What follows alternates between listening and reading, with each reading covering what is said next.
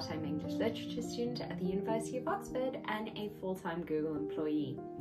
In this video, I thought I would wrap up my books that I have been reading for the last three months.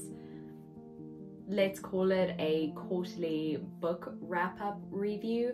I thought I'd talk a little bit about the books that I have read as a part of my 2023 TBR, which I will leave a link up to the video talking about that in the corner somewhere and down below. And I will also talk about the books that I have read as a part of my Sunbeams Jess book club that I am a part of. I'll leave a link to the Discord down below, as well as the Accepted Society book club, which I will leave a link, a link down below. So let's dive straight in. I have eight books, I believe, that I've read in the last three months. Now, just a caveat, this is not a reflection of how many books I've actually read in the last three months because these are only non-academic books. It doesn't include the books that I have read as a part of my Oxford University course so I won't be including those. But if you are interested in seeing the books that I read as a part of my Oxford degree or certificate, please do let me know. I can do I can include those books in the next wrap up or I can do a whole video about it by itself. So do let me know in the comments down below if that is something you'd be interested in seeing. All right, let's dive straight in. So on my 2023 TBR, I have 21 books that I want to read that are non-academic books that I've pulled together. And of those 21, I have read four, I believe, from that current list. Yes, four from that current list. And they've all been really fantastic books. So let's dive into them. The first book that I read as a part of this is Jane Austen's compilation of shorter stories, The Watsons, Lady Susan and. And I really enjoyed this little compilation. I don't have a physical copy here because I read it on my way to New York for our accepted uh, weekend, working weekend, fun weekend, whatever you want to call it. And I left the book with Kaylin because she's also a big Jane Austen fan and I thought she would like to read them and I read them in one sitting on the flight on the way there. So I really enjoyed these these shorter stories. One was written by Austen when she was a bit younger. The other one, Sanditon, was written, I believe, before she passed, so she never finished it. It's not completed as a book yet or it's not completed as a book. And it was really interesting to read these books and kind of see her growth from when she was younger and all the way up until you know just before she passed and obviously she'd written all her her famous novels in between the time which was quite fascinating. And then to also see her kind of engage with different forms of writing. So lady susan is a is a book that is written in the format of letters between people. And seeing austen engage with that uh, you see um is it anne bronte that engages with that in a bit more detail yes anne bronte engages with that uh that format in the tenant of wildfell hall and yeah, I just think it's really, really fascinating um, to see her engaging with that form. So if you are an Austen fan or you want to kind of dip your toes into Austen to see if you'd like her writing, I would highly recommend picking up these smaller these smaller stories. As I say, they're really, really short and they can get through quite a you can get through them quite quickly. And yeah, really good way to kind of kickstart the year on the on the TBR. The next book that I read as a part of the TBR is The Memory Police by Yoko Ogawa and this is a dystopian novel. It's probably it's probably the first dystopian novel I've picked up in quite a long time. I believe the last one that I read was A Brave New World by Aldous Huxley probably years ago. I, I can't even remember when I last read that book, but I mean, for me, dystopian novels can never get as good as George Orwell's 1984. But I was surprised by this one. I thought the concept was really, really interesting. Um, the idea of memory and objects associated with memory that disappear through the characters, but they're obviously characters that don't forget these things. The premise of it, the dystopian idea behind it, was really original and I really enjoyed it. I thought it was a really fascinating, fascinating book to to read and to engage with, and it's made me want to kind of delve into more dystopian books that I suppose you would consider as contemporary.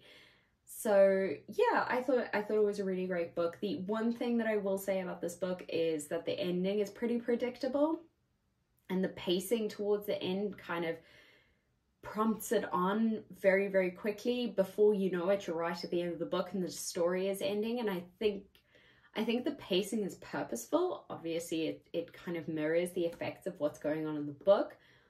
At the same time, I just thought the ending didn't quite sit right with me. It kind of felt like it could be better.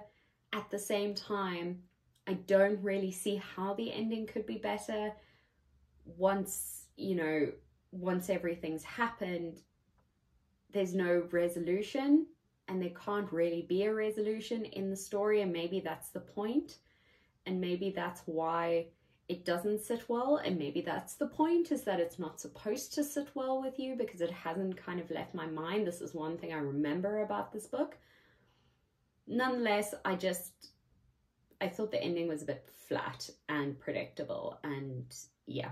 So that was that book but i highly recommend it. I did give it four stars and if you are a dystopian fan i would definitely recommend this book the next book that I read was quite an outsider in terms of its form and its structure, and this is The Lost Children's Archive by Valerie Luiselli.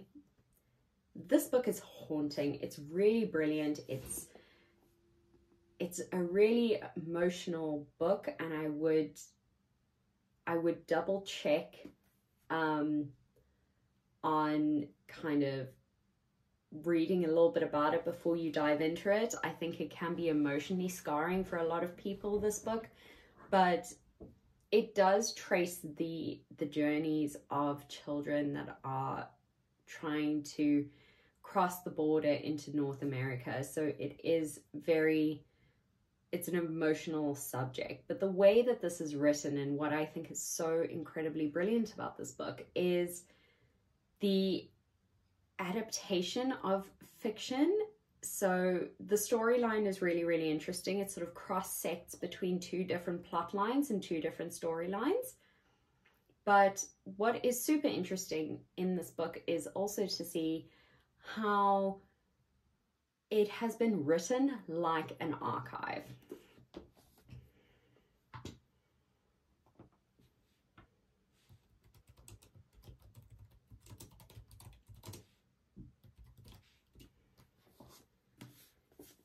Been written like an archive in that it also incorporates pieces of evidence throughout the book. Um, so historical documents or photographs or uh, theory and that kind of stuff. And so I don't think this would be a book for everyone, particularly if you're not, you know, really interested in, if you're just interested in a plot driven book that's straightforward then I don't think this would be for for you.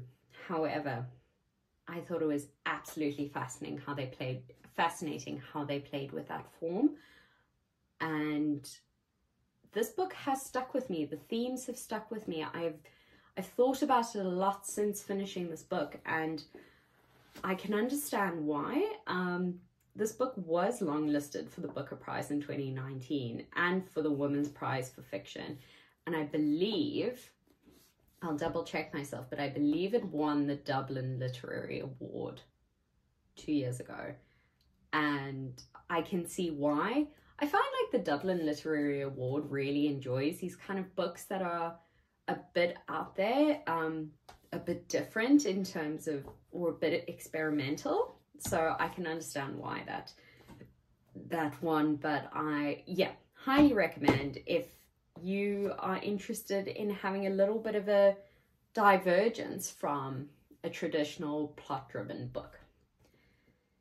The fourth book that I read as a part of my 2023 TBR is Pachinko by Min Lee. I have spoken about this book a lot on my social media, so I will not repeat all the things that I've said about it. I think I even did a short video on it, which I will link here.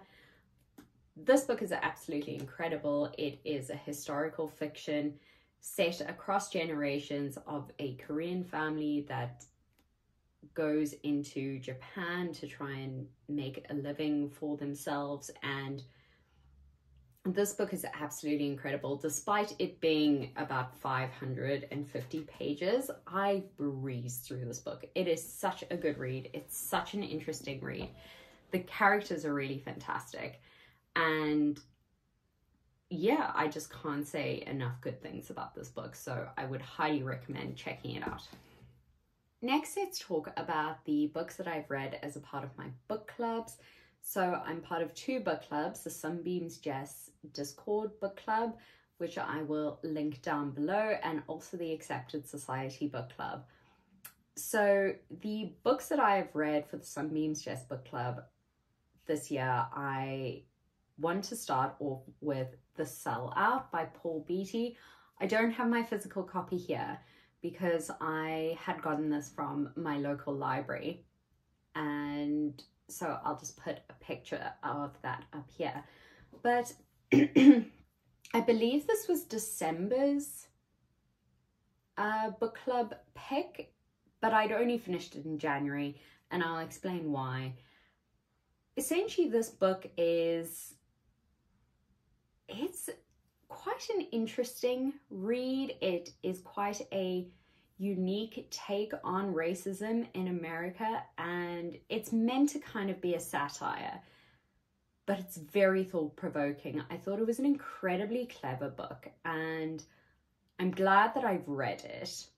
However, I would not pick it up again, and I wouldn't likely recommend it to people just because I thought that the intertextual references were really difficult for me to understand. And I think maybe if you grew up in the States or you grew up in that era, maybe it would be a bit more clear. But I felt that I was reading this book with my phone, Googling sort of references so I could quite so I could understand the beauty of the book. And to be fair, once I'd had figured those out and I'd read them, I could really appreciate the brilliance of this book. However, I still think the way that it approaches race, uh, racism in America is really quite difficult to. It's a difficult topic to address, and I think Paul Beatty does it so, so well and I'm glad that I've read it, but I would not reread it. I would not pick it up again. And yeah, um, I think definitely have a look at it if it sounds like something you would be interested in. But yeah, just not for me, a hundred percent. But yeah, as I say, glad that I've read it. The Feb, I didn't do the January um, book club read because I had enough other things that I was reading, and I had a really, really busy month. But the February read was Catherine Lacey's Pew, and this book is exceptional. It is such a great book, and if you haven't read it, I would highly pick it. I would highly recommend picking it up. It's a short little book. It's like 200 pages, and you could probably read it in one sitting, but this book is just it's so interesting. Essentially, it's a it's surrounding a character that wakes up in a small town that has no discernible characteristics. So no discernible race, no discernible gender, no discernible age, and they don't speak essentially. They speak to certain characters, but they don't speak generally about their past. They don't really have any memory or anything like that. And it's really interesting to see the characters' responses to this character as, I suppose, mirrors of their identity. And it is, it's fascinating the way it is written. And I'd read a lot of reviews about this book about how this character is meant to represent certain things like postmodernist writing. And it really made me think that what Lacey has done here, which is really exceptional, is that you can have so many readings of this book. And that's really quite a unique thing, I think, to find in a contemporary novel. Um, so I thought it was really fascinating. I really enjoyed it. I definitely want to reread it so I can pick up a bit more about, you know, the the subtleties of the the language and the psychology of the characters, which I think is so fantastic in this book. The plot is also really, really engaging. So you're kind of kept on the hook for most of the you're kept on the hook for the entirety of the book so you are engaged with what's going on it's not kind of one of these novels where the the plot is is is left wanting the plot is really really interesting and the pacing of the book is incredibly well done so overall yes probably a five star read in my opinion and yeah would highly recommend. Definitely, definitely pick this up. It sounds like something you're interested in. The March book club read was Stay With Me by Ayobami Adebayo and this book was quite fascinating. I know that she's just come out with a new book that is being very, very highly praised, and I wouldn't mind getting hold of that book because I really enjoy her writing. This book is very fascinating. It talks about love and the development of love essentially against the backdrop of 1980s Nigeria and the political upheaval that is occurring at the time. And this kind of tension between contemporary values and traditional values and how love fits into the family unit and the different forms that it can take. I have to say that I read majority of this book in one sitting. It was incredibly engaging and the characters are very very sort of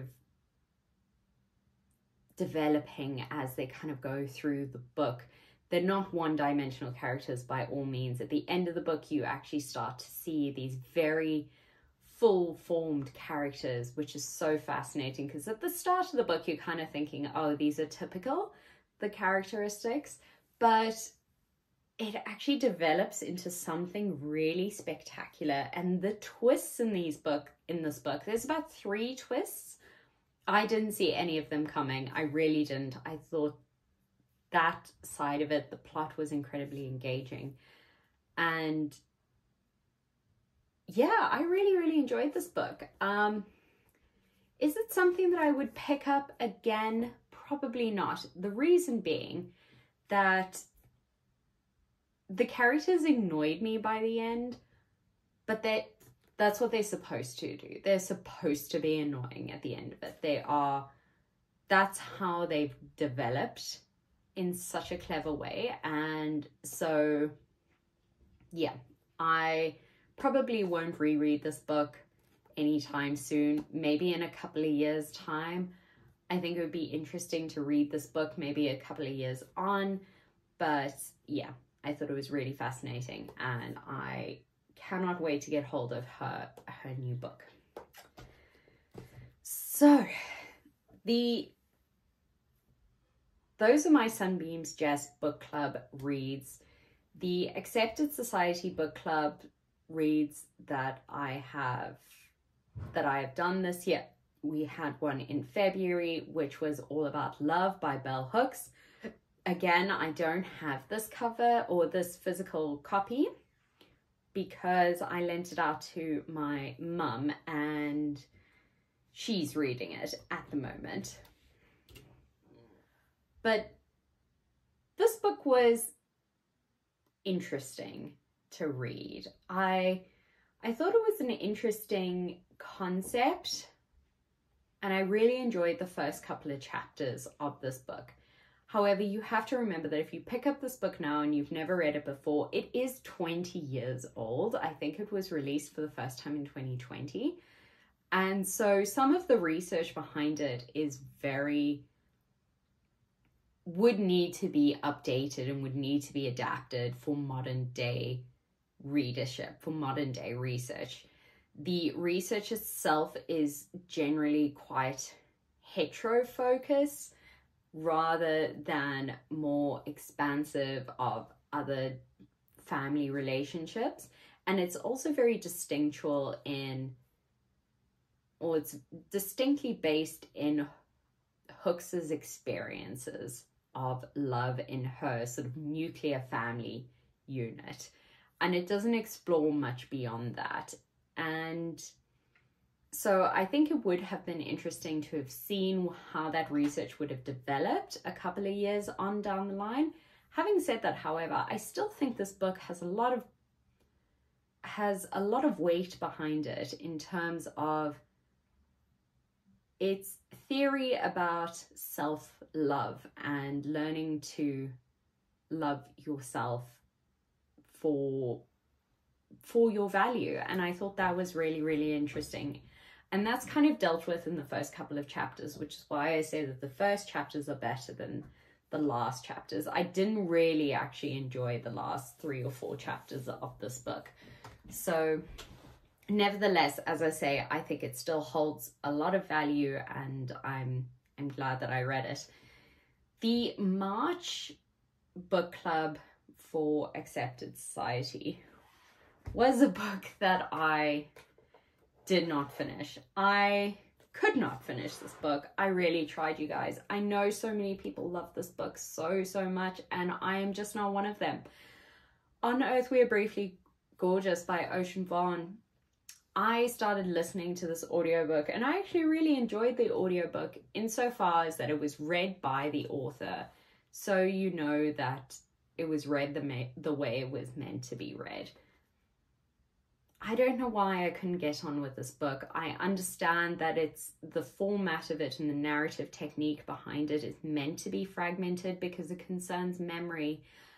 I just I couldn't get on board with the jumping around from one to the other to the other to the other and I I tried I persisted as much as I possibly could but at the end of the day I was just like I am not reaching for this book it is sitting on my nightstand and it is not being reached for. I'm reaching for my other books and I'm just not finishing it. So, first book of this year that I'm marking as do not finish is this book. Now, that's not to say that I'm not going to come back to it maybe in a couple of months or even a couple of years and try again because I know so many people love this book and I really wanted to love it. But I just couldn't get behind it. And maybe it's maybe it's me, maybe I couldn't get behind it because I wasn't putting enough into it. But let's see how we get on. For now, it's a D it's a do not finish and that is those are my book club books that I'm reading that I have read for the last 3 months. So those are all the books that I have read let's talk about the books that I'm currently reading because I don't want to go into too much detail, obviously, because I'm still busy with them. But I've got two books from my 2023 TBR The Vagabond Spirit of Poetry by Edward Clarke. This is my only non-fiction book that I have on my 2023 TBR. And actually, I would highly recommend this book. Even though I haven't finished reading it right now, I would highly recommend it. This book is absolutely essential, I think, if you are a student of literature or you enjoy reading and studying poetry. This book is really fantastic about learning to engage with poetry on a more sentimental level that's not just methodological that we are taught in university. And it's essentially, I suppose, the spirit of the Dead Poet Society in this book, but just a little bit more technical. Um, and it's really quite fascinating. I'm really, really enjoying it. I have skipped chapters in this book because the way the chapters are divided is per time period and then linked to particular poets of that time period. So, for example, I've actually read the last chapter, which is What Hope Does a Modern Poet Have? Because we've just been doing modernist poetry in class, and I thought it'd be interesting to read uh, Edward Clarke's perspective on this. So I thought that was really interesting. It's kind of like bell hooks in that you don't have to read the chapters in sequential order. You can pick and choose which chapters you want to read. I'm obviously going to read all of them, but I'm really enjoying this. I think this is going to be a fantastic reference work um, and would definitely be, be of interest to literary students or people that enjoy poetry. I would highly recommend it. The other book that I'm currently reading as part of my 2023 TBR is A Ghost in the Throat by Doreen Agoffi. I probably butchered her name, but she is an Irish author. And this book is absolutely incredible. I'm only about 50 pages in, to be honest, but I can already see this book being one of my top books of the year. It is just so engaging. It's so rich in its imagery. It's so rich in its its writing in its narration. Its pacing is brilliant. Its intertextual allusions are fantastic i'm just i'm really loving this book so so much and i love that it is a local irish a local irish author who also writes part of parts of the intertextual references are in Gaelic and I think it's just incredible. Absolutely incredible. So won't say too much more about that because I want to finish it and I don't want to make any assumptions on it while I am still reading it. But definitely a really incredible book. So I think that wraps up basically what I've read in the last three months. I think overall it's about eight books. Now, as I say, this isn't all the books that I've read because I've obviously read books for university. So please let me know if you would like me to include those books as well or to include the books that I read as a part of my course in a different video. But I thought for now, just to wrap up, on this on this video, I might talk about the books that I have bought in the last three months, kind of like a haul video, but yeah, just, you know, a little bit of additional book content for those of you that are still in interested in that. Um, so as you may have seen in my top books video, one of my top books that I read this year and of all time is Ulysses by James Joyce. And I'd read it a part, as a part of my modernist course, but it I didn't have a great copy of it.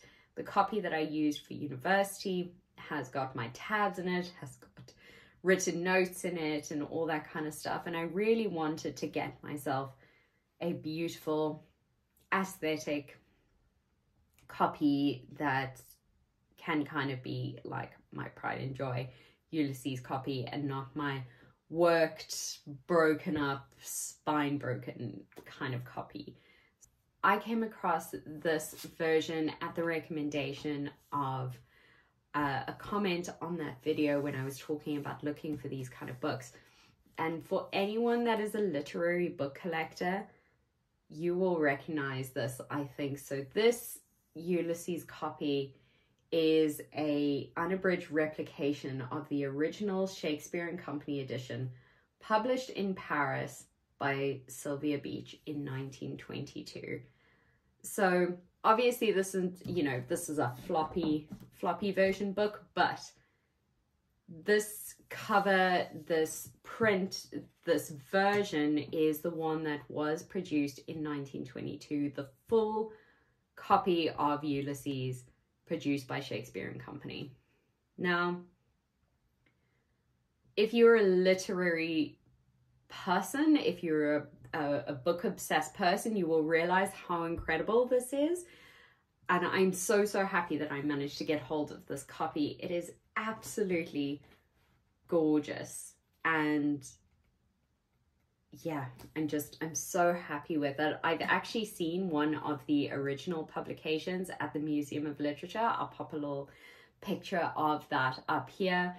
And it just, it looks, it looks the same. It looks the same and I'm, I'm so happy about that. So that's my first like kind of haul, I suppose.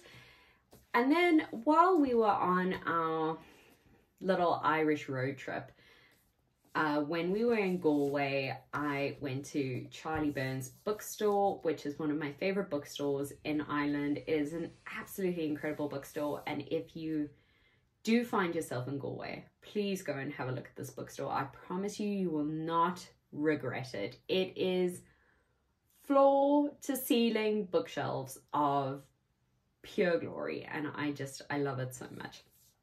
But I thought while I was there, it was absolutely appropriate to pick up my first Claire Keegan book, Small Things Like These. This book has been raved about. It is shortlisted, I think, for the Women's Prize for Fiction. It was shortlisted for the Booker Prize in 2022. And I'm very excited to read this book. I mean, I've never read anything of Claire Keegan. I know she's like, she's made a name for herself in the last couple of years, but local author, local bookstore, I thought it was appropriate to pick this up. Plus, I love that it's like a cute little mini hardback version of this book, so I'm very excited about that. So that was one that I picked up from Charlie Byrne's Bookstore. The other book that I picked up was this book, Augustus, by John Williams. And if you've seen my top books video, which I will link up here, you will know that John Williams' Stoner is one of the top books that I have ever read in my entire life, and I highly, highly recommend it. I actually hadn't realized that he'd written other novels. So I saw this. This was like in the sales pile. It was only five euros, I think. And it is basically a retelling of Julius Caesar um, by John Williams. And I'm super excited for that. I mean, I also just love this cover, right? Um, plus, it matches my current stoner version with the vintage uh, red spines. So there was a part of me that was really, really happy about that. The last book that I actually bought on that road trip was when we were in Dingle and there was this tiny little gift shop kind of store on the water and I found this book which is an old woman's reflections by Peig Sayers and this book I have been looking for for a long long time. Again when I was in the Museum of Literature here in Dublin there was an exhibition on Peig and her sort of oral folklore tradition that she had established in the Blasket Islands around the Dingle coast. And she's known as the queen of the, the Celtic storytellers, a born orator with a keen ear for a turn of phrase. She could shape a tale with naturalness that belied the subtlety of her craft. And I'm so excited to dive into this. It's a really short little book, but it just has these little folk tales in it that she would have retold verbally. And I think it's just so important to to pick up these kind of different these different forms of literature. So I'm very excited to dive into that. And then last but absolutely not least, I suppose, um, my book reading weekend with Beck and Anne. We obviously went to a bookshop, we absolutely had to, and I picked up some books. So I picked up my, well, I picked up another Tilted Axis book. Um,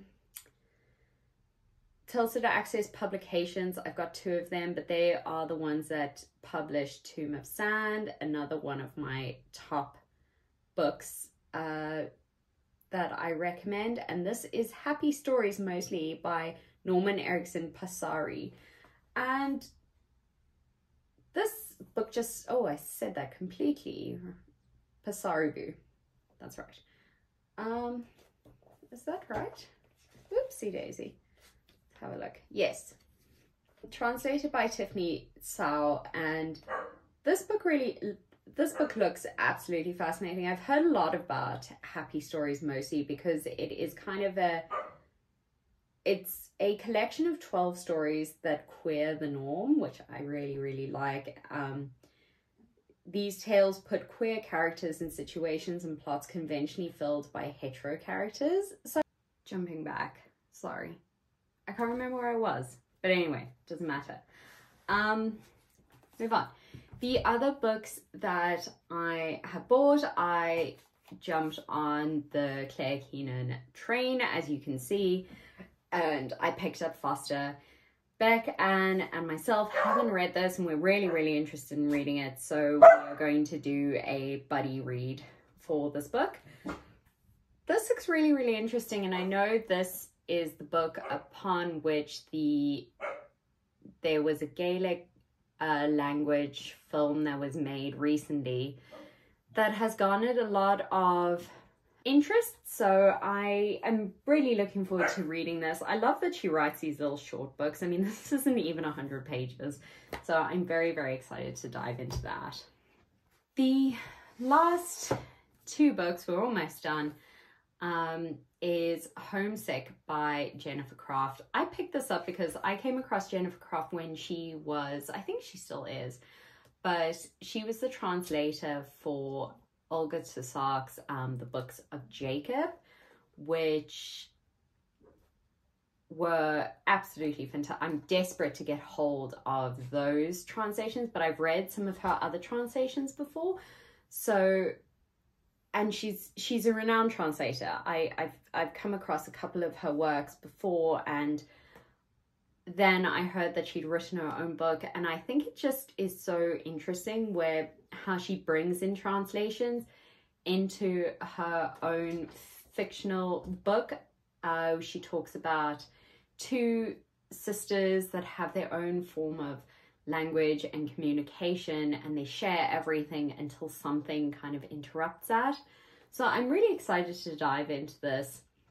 I think Jennifer Croft um, has now been nominated for the Women's Prize for fiction for this book. So I'm really interested to see how she gets on with it.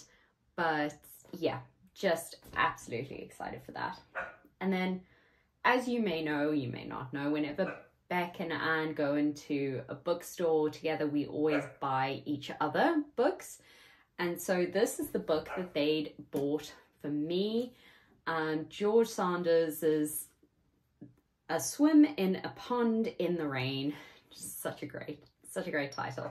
Haven't actually read anything of George Saunders, but I've heard such fascinating things about Lincoln embargo and I'm interested in reading it. But this is quite a fascinating, um, a fascinating book because it's George Saunders's lectures on Russian literature that he gives to his university students that he's now collected into a book.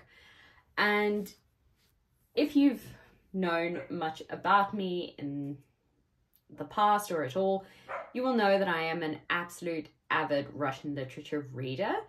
And so I am so excited to dive into this. Um, I've never done any kind of formal learnings about Russian literature. I've just found that Russian literature is so fascinating. And so, yeah, I'm very, very, very, very excited to dive into this. I think it's going to be really, really interesting. Funny, frank, and rigorous. A swim in a pond in the rain ultimately shows how great fiction can change a person's life and become a benchmark of their moral and ethical beliefs. Could not have said it better myself.